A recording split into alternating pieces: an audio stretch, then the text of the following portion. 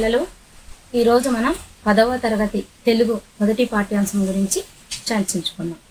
పాఠ్యాంశాన్ని చర్చించుకునేటువంటి ముందు మనము ప్రపంచంలో సృష్టిలో అందరికంటే ముందు ప్రథమ స్థానం ఎవరికి ఇస్తాము? ఎవరికి ఇస్తాము? తల్లి. అవును తల్లికి ఇస్తాం. ఫస్ట్ తల్లి తండ్రి గురువు దైవం అన్నారు. ఎందుకని? మనల్ని నవమాసాలు మోసి కని పెంచి పెద్ద చేసి మనకు చక్కటి విద్యా బుద్ధులు నేర్పించడానికి సహకరించేది అమ్మ. మనకి పాఠశాల తొలుగురువు ఉపాధ్యాయుడైతే పు- పుట్టినప్పటి నుంచి మనకు తొలుగురువుగా మనల్ని పెంచి పెద్ద చేసేది అమ్మ. అలాంటి అమ్మ యొక్క గొప్పతనాన్ని గురించి మనం ఈ పాఠ్యాంశంలో తెలుసుకున్నాం అమ్మ యొక్క అమ్మే కాదు ప్రతి స్త్రీ యొక్క గొప్పతనాన్ని స్త్రీలను ఎలా గౌరవించాలి ఎలా పూజించాలి అనే పాఠ్యాంశాన్ని మనం ఈరోజు తెలుసుకున్నాం మనం చెప్పుకోబడే పాఠ్యాంశం పదవ తరగతి తెలుగు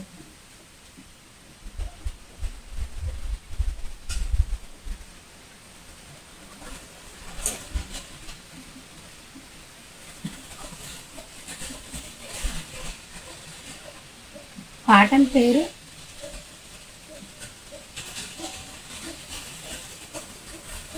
మాతృభావన.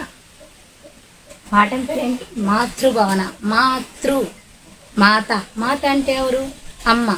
భావన అంటే తల్లి పట్ల ఒక స్త్రీ పట్ల మనం ఎలాంటి భావన కలిగి ఉండాలని చెప్పేది మాతృభావన. ఈ పాఠాన్ని రచించినటువంటి వ్యక్తి గడియారం వెంకట శేష శాస్త్రి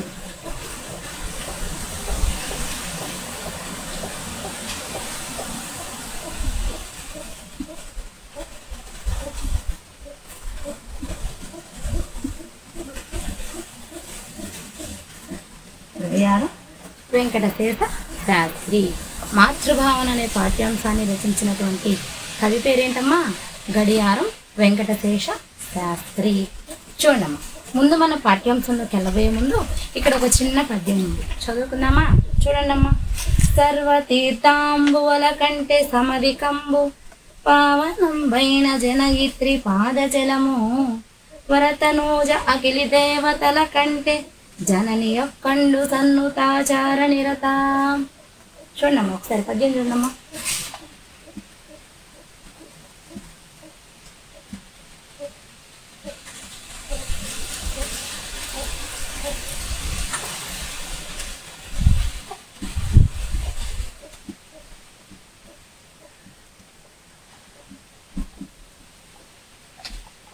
సర్వ తీర్థాంబోల కంటే సమధికంబు పావనంబైన జనియత్రి పాదజలము.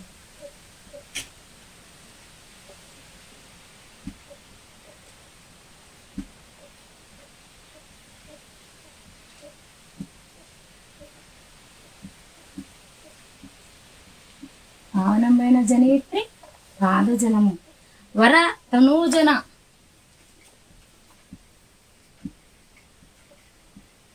అరతనూజన అఖిల దేవతల కంటే.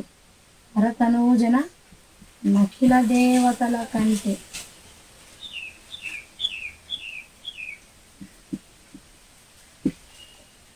జనని ఒక్కడు సన్నుచార నిరత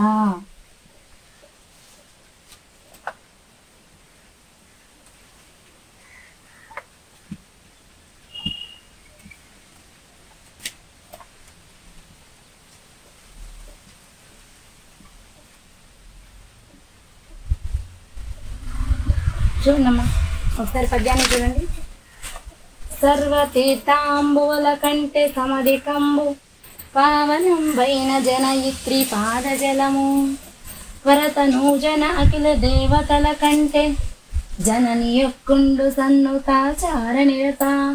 చూడమ్మా మనము ఏమైనా పాపాలు చేస్తే అంటే మనకు తెలియకుండా చేయొచ్చు తెలిసి చేయొచ్చు. ఏదైనా పాపాలు చేసినప్పుడు మనం ఎక్కడికి వెళ్తాము?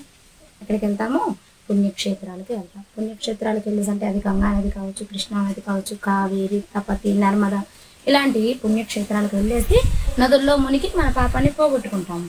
కానీ ఇక్కడేమంటున్నాడు? సర్వ తీర్థాంబుల కంటే సమధికము అనేక పుణ్యక్షేత్రాల కంటే అనేక నదుల కంటే కూడా అధికమైందంట. ఏంది? పావనంబైన జనయిత్రి పాదజలము.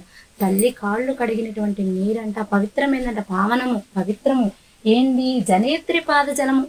అమ్మ కాళ్ళు కడిగిన నీళ్ళు చాలా పవిత్రమైనట. ఈ నదులన్నిటికంటే కూడా అమ్మ కాళ్ళు కడిగిన పవిత్రమే. అంటే మనము ఏమైనా తెలిసి తెలియక చేసినా అమ్మ కా- అమ్మకి పాదం కడిగిన నీళ్ళతోటి మన పాపాల మొత్తం కూడా పోతాయి అంట వర తనూజ అఖిల దేవతల కంటే భూమి మీద ఉన్నటువంటి అందరి దేవతల కంటే కూడా జనని ఎక్కడు సన్ను తాచారన్విత తల్లే గొప్పదంట.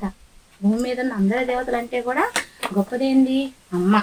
ఇప్పుడు చూడండి అమ్మా మీ దగ్గర టెక్స్ట్ బుక్లు ఉంటే తీసి ఒకసారి చూడండి. పావనంబైన జనేత్రి పాద జలము అంటే ఏమిటి అన్నారు. పావనంబైన జనేత్రి పాద జలము చెప్పుకున్నాం. పావనంబైన జనయిత్రి పాద జలము. అంటే తల్లి కాళ్ళు కడిగిన నీరు చాలా పవిత్రమైనది అని అర్థము. తల్లి పాదజలం దేనికంటే గొప్పదని తెలుసుకున్నారు చెప్పండి అమ్మా తల్లి పాదజలము అంటే అమ్మ కాళ్ళు కడిగినటువంటి నీరు దేనికంటే గొప్పది? దేనికంటే గొప్పది? అన్ని పుణ్యక్షేత్రాల్లోనూ నదుల్లోని నీరు కంటే కూడా చాలా గొప్పదంట. కుమారునికి అన్నిటికంటే మిన్న ఎవరు? ఎందుకు? కుమారుకనే కావచ్చు కుమార్తెలకైనా కావచ్చు ఎవరికైనా పిల్లలకు అన్నిటికంటే గొప్ప ఎవరు చెప్పండి అమ్మా అమ్మ నాన్న ఎవరు ఎక్కువ ఫస్ట్? ఫస్ట్ అమ్మ. ఎందుకంటే మనల్ని తొమ్మిది నెలలు మోసి కానీ పెంచి పెద్ద చేసి చేస్తుంది కాబట్టి మనకి అందరికంటే గొప్ప ఎవరు? అమ్మ. మనకు మంచి బుద్ధులు కూడా నేర్పిస్తుంది. ఈ పద్యం ద్వారా తల్లికి గల స్థానం ఏమిటి? తల్లికి గల స్థానం ఏంటి ఫస్ట్ స్థానమా? రెండవ స్థానమా? ఏ స్థానం చెప్పండి? ప్రథమ స్థానం. తల్లికి గల స్థానం ఏంటి? ప్రథమ స్థానం. నెక్స్ట్. ప్రతి స్త్రీమూర్తి మనకి తల్లితో సమానం అని అంటారు కదా. ఎందుకని చెప్పండి? ప్రతి స్త్రీమూర్తి మనకు తల్లితో సమానం. ఎందుకు? దేవతలందరూ కూడా స్త్రీ దేవతలందరూ కూడా స్త్రీమూర్తులే. కాబట్టి ప్రతి స్త్రీ కూడా దేవతతో సమానం. ప్రతి తల్లి కూడా మనకు దేవుడితో సమానము. ఓకేనమ్మా? సరే ఇప్పుడు ఈ మాతృభావన అనే పాఠ్యాంశం యొక్క నేపథ్యంగా తీసుకున్నట్లయితే అంటే ఉద్దేశం అసలు ఈ పాట మనం ఎందుకు చెప్పుకున్నాం? దేని గురించి చెప్పుకున్నాం? అని చూసుకున్నట్లయితే ఒకసారి చూడండి మొదటి దండయాత్రలో కళ్యాణి దుర్గం జయించిన తర్వాత అబ్బాజీ సోందేవుడు విజయోత్సాహంతో శివాజీ వద్దకు వస్తాడు. మొదటి దండయాత్రలో కళ్యాణి దుర్గాన్ని జయించిన తర్వాత కళ్యాణి దుర్గం అంటే కోట. కళ్యాణి అనే కోటను జయించిన తర్వాత అబ్బాజీ సోందేవుడు అబ్బాజీ సోందేవుడు ఏం చేస్తాడు? విజయోత్సాహంతో గెలిచిన ఉత్సాహంతో శివాజీ దగ్గరికి వచ్చాడు. తన రాజుగారైనటువంటి శివాజీ దగ్గరికి వచ్చాడంట. అప్పుడు సోందేవుడు శివాజీతో ఇలా అంటున్నాడు. ఏమని? దేవా మీ ఆజ్ఞ ప్రకారం కళ్యాణిని జయించి దాని సర్దారులు పట్టి బంధించి తీసుకొని వచ్చాను. సర్వస్వాన్ని రాణివాస స్త్రీలను బందీలుగా తెచ్చానని మనవి చేస్తాడు. అంటే చెప్తాడు. మీ ఆజ్ఞ ప్రకారం నేను కళ్యాణి దుర్గాన్ని జయించాను. అక్కడ సర్దారులను రాణివాస స్త్రీలను బందీలుగా తీసుకొని వచ్చానని చెప్తాడు మనవి చేస్తానని చెప్తాడు. ఇది విన్న శివాజీ పరస్త్రీలు తల్లులతో సమానం పరస్త్రీలు మనకు ఎవరితో సమానం? అమ్మాన అమ్మలతో సమానం అన్నమాట. చెప్పి ఆమెకు అగౌరవం కలిగించినందుకు ఒక స్త్రీని ఒక అంతఃపుర రాణిని తీసుకొని వచ్చినందుకు ఆమెకు అవమానం కలిగినందుకు చింతిస్తూ అంటే బాధపడుతూ ఈ విధ ఇలా చేయడం తగదని ఎవరికి చెప్తున్నాడు హితవు మంచిని బోధించే సందర్భంలోనిది ఈ పాఠ్యం. ఎవరికి చెప్తున్నాడు? సోమదేవునికి చెప్తున్నాడు. అయితే శివాజీ రెండు వందల అరవై ఒకటిలో క్రీస్తు శకం రెండు వందల అరవై ఒకటిలో కళింగ యుద్ధం జరుగుతుందమ్మ. అంతకుముందు బాగా యుద్ధాలు చేస్తుండేవాడు యుద్ధాలు చేయటం జయించడం రాజ్యాలను ఆక్రమించుకోవటం ఇలా చేస్తున్నారు కానీ రెండు వందల అరవై ఒకటిలో కళింగ యుద్ధం అని ఒక భయానక యుద్ధం జరుగుతుంది. ఆ యుద్ధంలో చిన్నపిల్లలు ముసలి వాళ్ళు గర్భిణీతో ఉన్నటువంటి స్త్రీలు చాలామంది చనిపోతారు. ఆ యొక్క కళింగ యుద్ధంలో శివాజీ గెలిచినప్పటికీ కూడా ఆ యుద్ధంలో చనిపోయినటువంటి చిన్నపిల్లల్ని పెద్దవారిని ముసలివారిని కలుపుతో ఉన్న గర్భిణీ స్త్రీలను వీళ్ళందరినీ చూసి శివాజీ యొక్క మనసు చలించిపోతుంది. చా నేను ఇంత పాపం చేసింది. నేను గెలిచింది వీళ్ళందరి చావు కోసమేనా నేను గెలిచింది? నేను గెలవడం కోసం ఇంతమంది చనిపోవాలా అని బాగా బాధపడి అప్పుడు తను ఒక నిర్ణయానికి వస్తారమ్మ. ఇక జీవితంలో నేను యుద్ధాలు చేయకూడదు. జీవితంలో నేను యుద్ధాలు చేయకూడదు అని చెప్పి అదే విషయాన్ని తన సైనికులకు చెప్తాడు తన సేనాపతులకు చెప్తాడు. ఏమని? మీరు ఎక్కడైనా యుద్ధానికి వెళుతుంటే మీరు ఎక్కడైనా యుద్ధానికి వెళ్తుంటే అక్కడ చిన్నపిల్లలు కానీ వృద్ధులు కానీ గర్భిణీతో ఉన్న స్త్రీలు కానీ అలా ఎవరైనా ఉన్నట్లయితే వాళ్ళని మాత్రం విడిచిపెట్టండి. వాళ్ళని మాత్రం అవమానపరచద్దు వాళ్ళని చంపద్దు. వాళ్ళని బాధ పెట్టవద్దని శివాజీ తన సైన్యానికి చెప్తారు ఈ విషయాన్ని మొత్తం కూడా కానీ సోమదేవుడు ఈ విషయాన్ని తన మైండ్లో ఉండదు. కేవలం గెలిచననే అహంకారంతో స్త్రీలని అక్కడ రాణివాసులను అలాగే అక్కడ నుండి స్పర్ధాలను మొత్తం పట్టుకొని తీసుకొచ్చి శివాజీ వద్దకు తీసుకొచ్చినప్పుడు శివాజీ ఒక స్త్రీకి అవమానం కలిగించావు. ఇది నేను ఒప్పుకోను. నా ఆద్యం నువ్వు పట్టించుకోలేదా అని స్త్రీ యొక్క గొప్పతనాన్ని సోమదేవునికి చెప్పడమే ఈ పాఠ్యాంశం యొక్క ముఖ్య ఉద్దేశం అమ్మ. నెక్స్ట్ చూడండి. చూసారు? కదా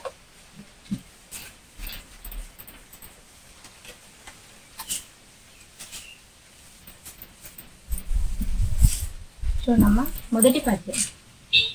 పద్యంలోకి వెళ్ళే ముందు పాఠ్యభాగ వివరాలు చూద్దామమ్మా. పాఠ్యభాగ వివరాలు చూద్దాము ఈ పాఠం చారిత్రక కావ్య ప్రక్రియకు చెందింది. మనం చెప్పుకునే మాతృవాన్ అనే పాఠం.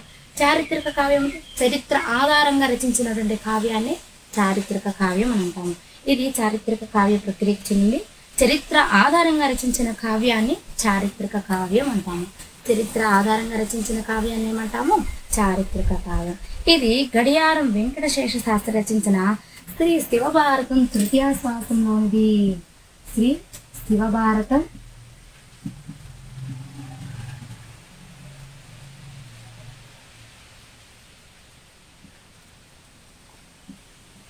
తృతీయ శ్వాసంలోనిది ఏంటిది? ఈ మాతృభావన అనే పాఠ్యాంశము.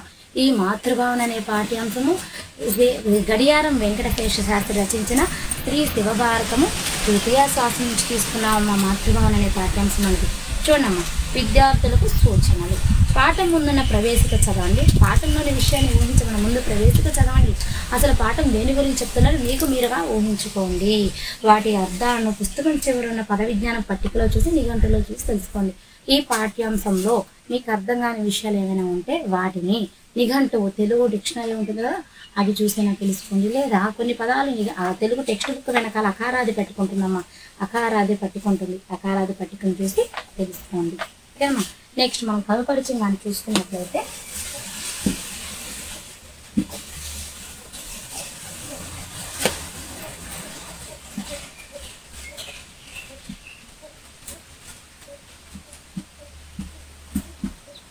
కవి.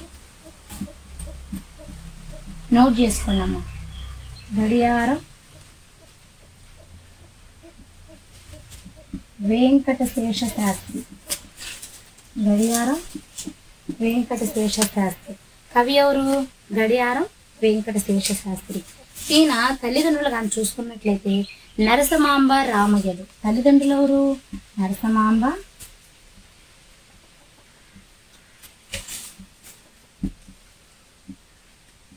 నరసింహాంబ రామలు. ఎవరి వీళ్ళు? గడియారం వెంకట శేష శాస్త్రి యొక్క తల్లిదండ్రులు. కడప జిల్లా జమ్మలమడుగు తాలూకా నెమళ్ళదిన్నె అనే గ్రామంలో జన్మించారమ్మ. కడప జిల్లా జమ్మలమడుగు తాలూకా నెమళ్ళదిన్నె అనే గ్రామంలో ఎవరు జన్మించారు? గడియారం వెంకటశేష శాస్త్రి. ఈయన దుర్భాక రాజశేఖర శతావధానితో కలిసి కొన్ని కావ్య నాటకాలు కూడా రాశారమ్మా. ఎవరితో కలిసి కావ్య నాటకాలు రాశారు? దుర్భాక రాజశేఖర శతావధాని. గడియారం వారి పేరు చెప్పగానే మనకు ముందుగా గుర్తొచ్చేది ఏంటి? శ్రీ శివభారతము. గడియారం వారి పేరు. గడియారం వెంకటశేష శాస్త్రి గారికి మొదటి పేరు. చెప్పగానే ఆయన రచనల గురించి చెప్పుకోగానే మనకు ఫస్ట్గా గుర్తొచ్చేది శ్రీ శివభారతము. గడియారం వారి పేరు చెప్పగానే మనం ముందుగా గుర్తించేది ఏంటి? శ్రీ శివభారతము అనే కావ్యం గుర్తుకొస్తుంది. ఈ శివభారతం అనే కావ్యం దేనికి గుర్తు? పారతంత్యాన్ని నిరసించి స్వాతంత్రకాంక్షను అణువణువున రగులుకొల్పిన మహాకావ్యం ఇది. పారతంత్యాన్ని ఇంతకుముందు మన దేశాన్ని ఎవరు పాలించారు? బ్రిటిష్ వాళ్ళు. మన దేశాన్ని బ్రిటిష్ వాళ్ళు పరిపాలించారు. వాళ్ళు మన దేశాన్ని పరిస్థితి పరిపాలిస్తున్నారు కదా. వాళ్ళ పరిపాలన నిరసిస్తూ మా దేశాన్ని మేమే పరిపాలించుకుంటాం.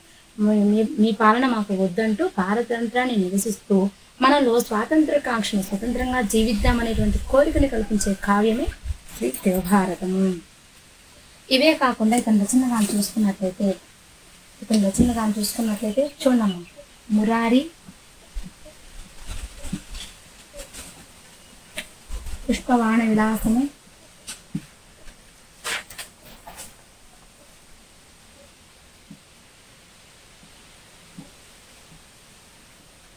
పుష్పవాణ విలాసము. రఘునాథీయము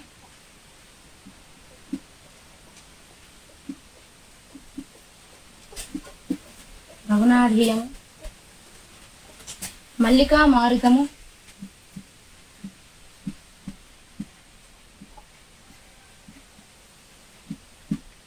మల్లికా మల్లిక మారుతము. మొదలైనవి అనమాట ఏంటి ఇవి? ఎవరి యొక్క రచనలు? గడియారం వెంకటశేష శాస్త్రి గారి యొక్క రచనలు. గడియారం వెంకటశేష శాస్త్రి గారి యొక్క రచన. ఏంటి అమ్మా? మురారి పుష్పబాణ విలాసము రఘునాధీయము మల్లికా మారుతము. ఇవి ఎవరి యొక్క రచనలు? శ్రీ గడియారం వెంకటశేష శాస్త్రి గారి యొక్క రచనలు. ఇవే కాకుండా వాస్తుజంత్రి అంటే వాస్తు అముద్రిత వచ్చిన వచన రచన అంటే ముద్రించబడలేదు. వాస్తుజంత్రిని ఒక రచన చేశాడు. శ్రీనాథ కవితా సామ్రాజ్యం అనే విమర్శనా గ్రంథాన్ని రాసినమ్మ శ్రీనాథుని కవితా సామ్రాజ్యం అనే విమర్శనా గ్రంథం. ఈయన లేఖ నుండి వెలు వెలువడ్డాయి. ఇవే కాకుండా అతని యొక్క బిరుదులు కానీ చూసుకున్నట్లయితే కవిసింహ అవధాన పంచానన.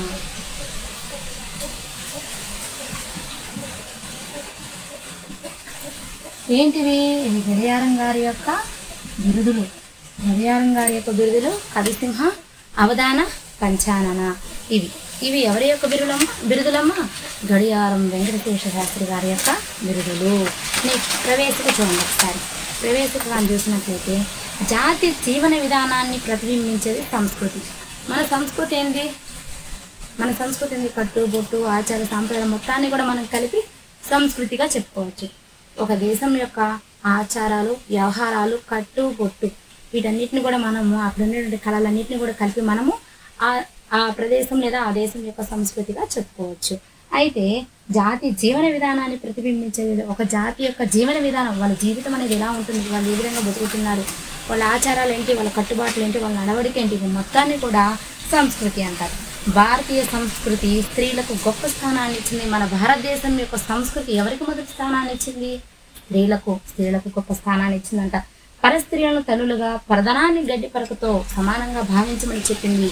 పరస్త్రీని ఏ విధంగా భావించమంది? తల్లులుగా భావించమంది. పరస్త్రీని ఎలా భావించమంది? తల్లులుగా భావించమంది. పరధనాన్ని ఇతరుల యొక్క ఆస్తిపాస్తులను మనం ఏ విధంగా చూడాలి? గడ్డి పరకతో సమానంగా చూడాలి. గడ్డి పరకలు మనం ఎలా చూస్తామో చా ఎందుకు పనికిరాదన్నట్టు చూస్తాము. మనకు అవసరం లేదన్నట్టు చూస్తాము. అదేవిధంగా పరస్త్రీలను తల్లుగా పరధనాన్ని గడ్డి పరకగా చూడమని చెప్పింది. అటువంటి ఉదాత్తమైన భావాలను జీవనశైలిని మలుచుకొని పరిపాలన సాగించిన ధీరోదాత్త చక్రవర్తి మన ఛత్రపతి శివాజీ. అలాంటి పరస్త్రీని తల్లుగా భావిస్తూ పరధనాన్ని గడ్డి పరకతో భావిస్తూ ఉత్తమ గుణాలను అలవరుచుకుంటూ జీవితాన్ని సాగించిన వ్యక్తి మన ఛత్రపతి శివాజీ. శివాజీ జీవితంలోని ఒక సంఘటన మాతృభావనకు అర్థం పడుతుంది. శివాజీ యొక్క నిజ జీవితంలో జరిగినటువంటి సంఘటన అంతా మాతృభావనకు తల్లుల పట్ల స్త్రీల పట్ల అతనికి గల భావాన్ని తెలియచేస్తుందంట. దాన్ని గడియారం వెంకటశేష శాస్త్రి తీర్చిదిద్దిన తీరు ప్రశంసనీయం. శివాజీ కలిగినటువంటి భావాన్ని గడియారం వెంకటశేష శాస్త్రి చాలా చక్కగా చిత్రించాడంటమ్మా. గడియారం వెంకటేశ్వర శాస్త్రి చాలా చక్కగా చిత్రించాడంట అది ప్రశంసనీయం చాలా చెప్పుకోదగ్గది చాలా పొగడదగ్గదంటమ్మా సహృదయతకు మత సామర్థ్యానికి ప్రతీకగా నిలిచిన ఆ సన్నివేశాన్ని పాఠంలో చదువుకున్నావా సహృదయతకు మంచి మనసుకు మత సామరస్యానికి సర్వమతాల సమానంగా చూడమని చెప్పడానికి ఈ పాఠం అంటే చక్కని ఉదాహరణ అంట. చూడండి మొదటి పద్యాన్ని చూసుకుందాం. ఒకసారి చూడండి. కవి పేరు గడియారం వెంకటశేష శాస్త్రి. తల్లిదండ్రులు నరసమాంబ రామయ్యలు. ఈయన పేరు చెప్పగానే మనకు గుర్తుకొచ్చేది మొదటి రచన శ్రీ శివభారతం. ఈ శివభారతం దేనికి గుర్తని చెప్పుకున్నాను? పారతంత్ర్యాన్ని నిరసిస్తూ అణువణువునుగున స్వతంత్రాన్ని రగులుగొలిపేటువంటి కావ్యం అన్నది. నెక్స్ట్ ఇతని యొక్క రచనలు కానీ చూసుకున్నట్లయితే మురారి పుష్పబాణ విలాసము రఘునాదీయము మల్లికా మారుతము. ఎవరి యొక్క రచనలు? ఎవరి యొక్క రచనలు? గడియారం వెంకటశేష శాస్త్రి గారి యొక్క రచనలు. ఇతని యొక్క బిరుదులు గారు చూసుకున్నట్లయితే కవిసింహ అవధాన పంచానన. ఇతని యొక్క బిరుదులు ఏంటమ్మా? కవిసింహ అవధాన పంచానన. చెప్పినటువంటి విషయాలను నోట్స్లో రాసుకున్నాము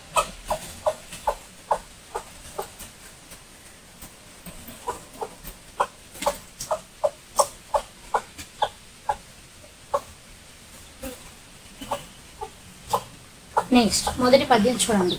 మద్యం మొదటి పద్యం చూడండి. రాస్తున్నాను చూడండి చూడండి.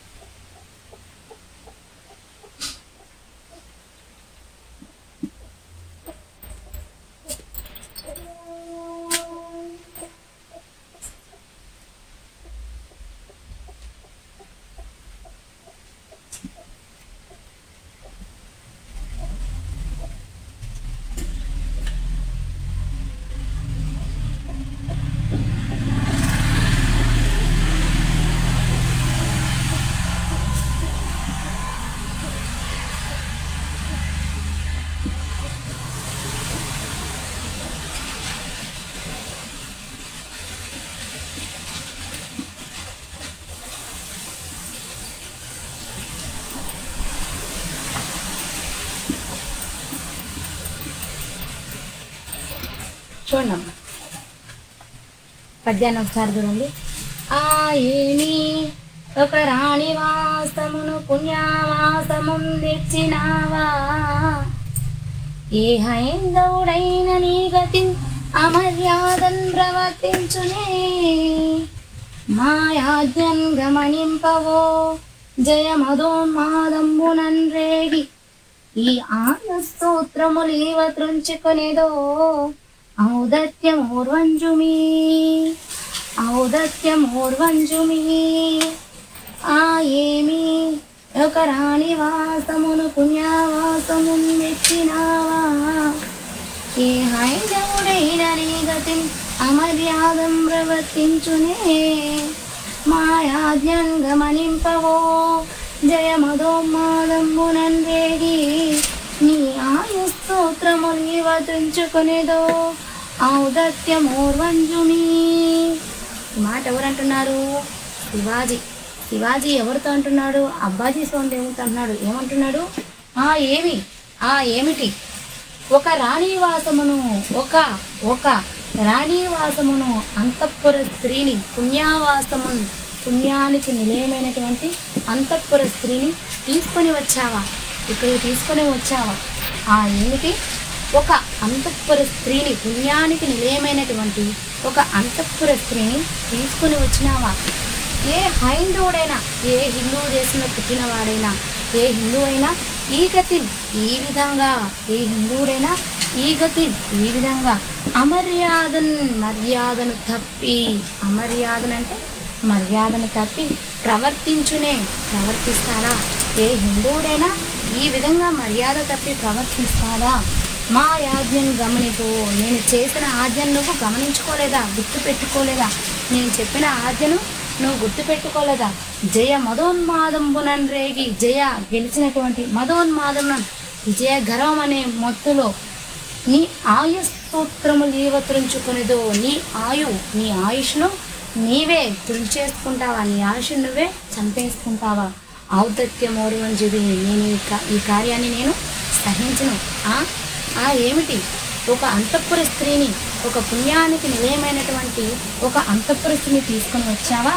ఏ హిందూ దేశంలో పుట్టిన ఎవరైనా ఈ విధంగా చేస్తారా? ఈ హిందూ దేశంలో పుట్టిన ఎవరైనా ఈ విధంగా మర్యాద తప్పి ప్రవర్తిస్తారా? నేను చేసిన ఆజ్ఞను నువ్వు గమనించుకోలేదా? గెలిచేననే అహంకారంతో స్త్రీని పట్టుకుని ఓ స్త్రీని అంతఃపుర స్త్రీని బందీగా తీసుకొని వచ్చి నీ జీవితాన్ని నువ్వే చేసుకుంటావు నీ ఆయుష్ నువ్వే తగ్గి తగ్గించేసుకుంటావా ఈ కార్యాన్ని నేను ఏమాత్రం సహించనని కోపంతో శివాజీ ఎవరితో అంటున్నాడమ్మా. ఎవరితో అంటున్నారు? అబ్బాజీ సౌందర్యంతో అంటున్నారు ఎవరితో అంటున్నారు? అబ్బాజీ సౌందర్యంతో అంటున్నారు నెక్స్ట్ చూడండి. బాగుంది. ఆ ఏమి ఒక రాణివాసమును పుణ్యావాసముందెచ్చినావా? ఏ హైందవుడైన నీ గతి అమర్యాదం ప్రవర్తించునే. మాయాజ్ఞన్ గమనింపవో జయ మదోన్మాదంబునన్ రేగి ఈ ఆయు స్తోత్రములీవ త్రుంచుకునేదో ఔదత్యమోర్వంజుమి. ఈ కార్యాన్ని నేను సహించిన సుమా అని ఎవరంటున్నారు? అబ్బాజీ సోమదేవుడితోటి శివాజీ అంటున్నారు. ఓకేనమ్మా ఇక్కడ చూసుకున్నట్లయితే పుణ్యావాసం. ఇక్కడ పుణ్యావాసము ఈ పదాన్ని ఒకసారి చూడండి పదాన్ని విభజించుకు చూడండి. పుణ్యావాసము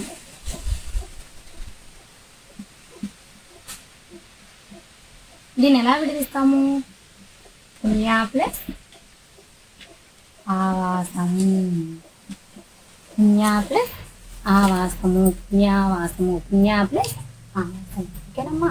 చూడండి.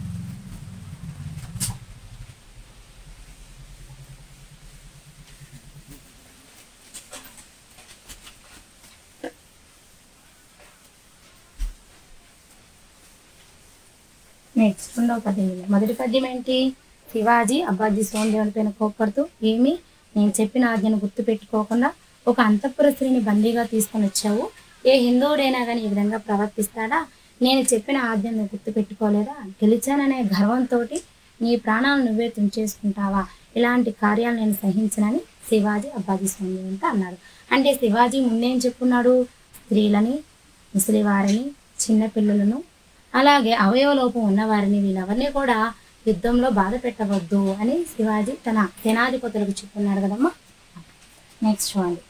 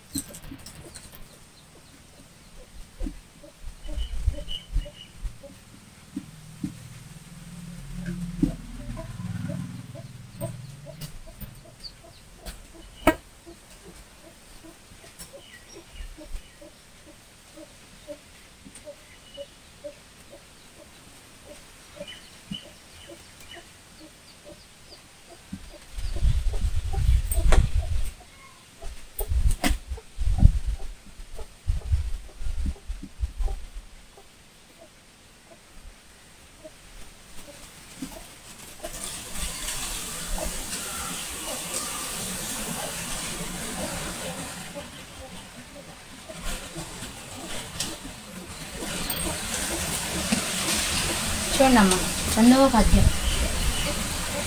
రెండవ పద్యం. ఫస్ట్ పద్యం అయిపోయింది కదమ్మా? రెండవ పద్యం చూడండి అనుచుంజే ఊరు మీరు కన్నుగవతో నా సందోషంబుతో ఘనహంకారముతో నడదృక్కుటితో గజ్జిల్లు నా బొంతులేసింజూడన్ బుయలోడే గొలువు శివుడే సున్పుతు కన్మింగి బొయ్యిన రవ్వారల బంధమూర్చుకొని తేరన్ బంచె సోందేవుని అనుచుందేవురు మీరు కన్నుగమతో నా స్పందోష్టంబుతో ఘనహంకారముతో నటదృక్కుడితో గజ్జిల్లు నా భూంసులేసింజూడన్ చూడన్ గొల్లు శివుడే కుత్తు కన్నింగి బోరన నవ్వారల బంధమూర్చి కొని తేరన్ మంచి సోందేవుని చూడమ్మా.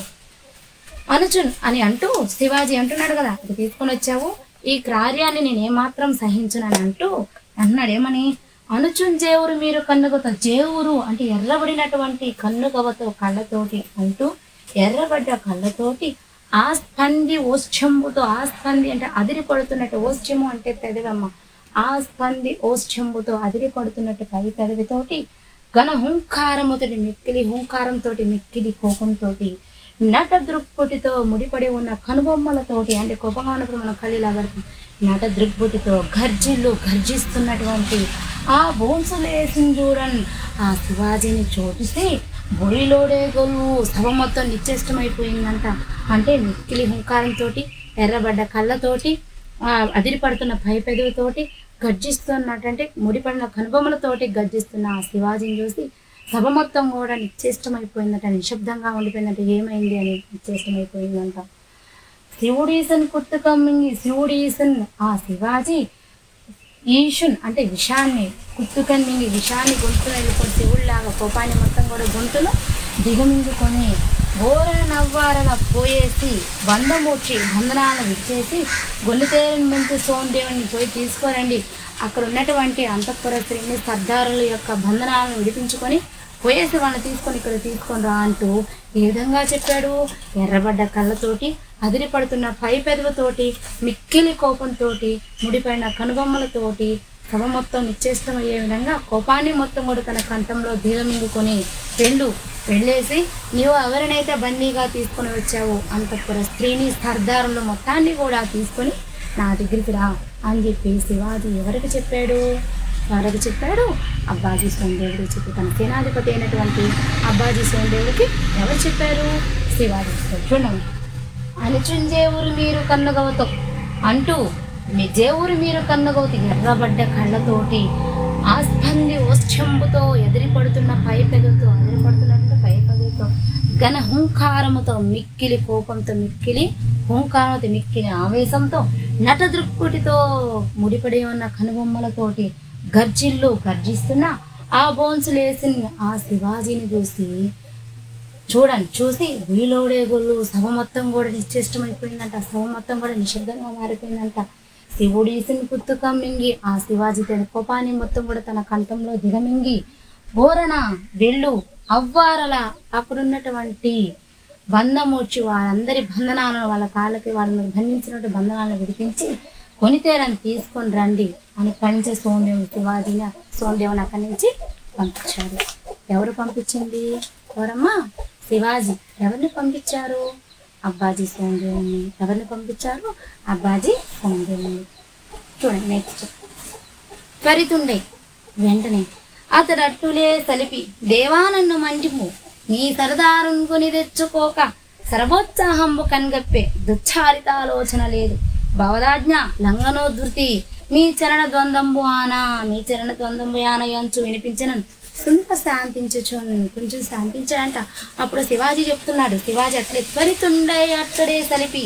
తరుతుండే వెంటనే అటుడే సలిపి. అలాగే చేసి ఇప్పుడు చెప్తున్నాడు అబ్బాజీ సోమదేవుడు. ఏమని చెప్తున్నాడు? దేవా నన్ను మన్నింపు.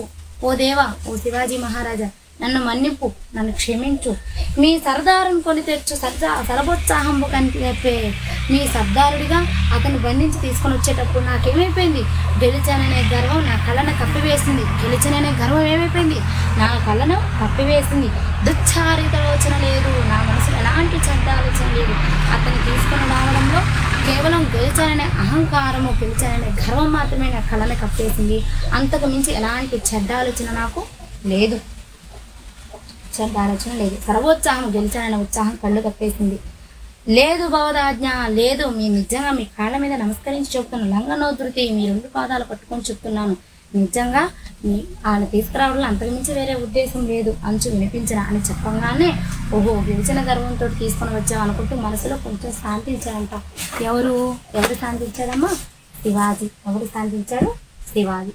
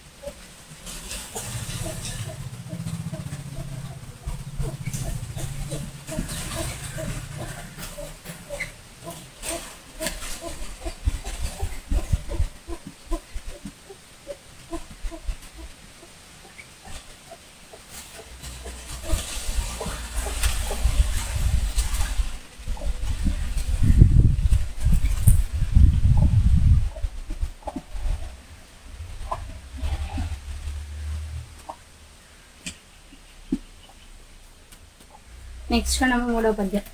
నెక్స్ట్ చూడండి మూడో పద్యం. శివరాజంతట మేల్ముసుంగుదెరలో సిగ్నాంబుదఛాయలో నమ సౌరామిని బోధునాయవన కాంతారత్నమున్. భక్తి గౌరవముల్వారగా రోచి పల్కే వనితారత్నంబులి భవ్య హైందవ భుజంగమా. పుణ్యదేవతలు మాతా తప్పు సైరింపు మీ. శివరాదంతట మేల్ముసుంగుదెరలో సిగ్నాంబుదఛాయలో నవ సౌదామిని బోలునాయవన కాంతారత్నముల్ భక్తి గౌరవముల్ వారగ జూచి పల్కె. వనితారత్నంబులి భవ్య హైందవ భుజంగమా పుణ్యదేవతలు మాత తప్పు సైరింపుమి. చూడు శివాజీ ఏమంటున్నాడంటే శివరాజు ఇంకా శివాజీ అంతటా అంతలో మేలిమి ముసుంగు తెరలో కప్పుకున్నట్టు తెరచాటు చీర తెరచాటులో సిగ్నాంబుదచ్చారి ఎర్రని అరుణకాంతపు చాటునున్నటువంటి నవసౌదామిని కొత్త రాణివాస స్త్రీని పోలు కనిపించినట్టు ఆ యవనకాంత రత్నము ఆ యవన దేశపు రత్నం వంటి స్త్రీని భక్తి గౌరవము భక్తితోటి గౌరవంతోటి వారగా చూసి ఒక పక్కగా చూసి ఈ విధంగా పలుకుతున్నాడంట. వనితా రత్నములు వనిత అంటే స్త్రీ రత్నం రత్నంతో సమానం. వనితా రత్నములు రత్నాల వంటి స్త్రీలు భవ్య హైందవ మా హిందూ భూమి మీద సంచరించేటువంటి పుణ్య దేవతలు పుణ్యమైనటువంటి దేవతలతో సమానం. రత్నాల వంటి స్త్రీలు ఈ హిందూ భూమి మీద సంచరించేటువంటి దేవతలతో సమానము దేవతలతో. కాబట్టి మాత మా సర్దారం చేసిన తప్పు నువ్వు క్షమింపుము మా సర్దారం చేసిన తప్పు నువ్వు క్షమింపుము అని ఎవరంటున్నారు? శివాజీ అంటున్నారు. ఎవరంటున్నారమ్మా? శివాజీ అంటున్నారు. శివరాజంతట మేలు ముసుంగు తెర శివాజీ ఆ మేలిమి ముసుగు తెరలో ఉన్నటువంటి నీలి మేఘపు చాటున అంటే సూర్యకిరణాలు పడుతున్నటువంటి ఆ తెరచీర చాటున ఉన్నటువంటి ఆ స్త్రీని చూస్తూ నవసౌదామిని కొత్తదైన ఆ స్త్రీని చూస్తూ యవనకాంత రత్నం యవన దేశ ప్రాణి అయినటువంటి రత్నం వంటి ఆ స్త్రీని చూస్తూ భక్తి గౌరవములతోటి ఈ విధంగా పలికంట. ఓ మాత మీ స్త్రీలు స్త్రీలనేవారు హిందూ దేశంలో సంచరించేటువంటి పుణ్య దేవతలతో సమానము. మా సర్దారు చేసిన తప్పు నీవు క్షమించు. మా సర్దారు చేసిన తప్పు నీవు క్షమింపుము అని ఎవరంటున్నారు? శివాజీ అంటున్నారు. ఓకేనమ్మా? ఈరోజు చెప్పిన చెప్పినటువంటి పాఠ్యాంశాన్ని ఉద్దేశాన్ని అలాగే చారిత్రక కావ్యం అంటే ఏమిటి పాఠ్యభాగ వివరాలంటే ఏమిటి కవి పరిచయము ఇవన్నీ కూడా ఇచ్చిన పద్యాలు ప్రతి పద్యానికి కూడా ప్రతిపదార్థాన్ని మీరు చదువుకోండి. ప్రతి పద్యాన్ని ప్రతిపదార్థాన్ని టెక్స్ట్ బుక్ అర్థం కాని పదాలు అకారాది పట్టిక చివర ఉంటుంది. అకారాది పట్టిక లేదా మీకు నిఘంటం అనేది అందుబాటులో ఉంటే నిఘంటుని చూస్తేనే మొత్తం ఒక రాసుకొని వీటికి రెండు సార్లు చదవండి థ్యాంక్ యూ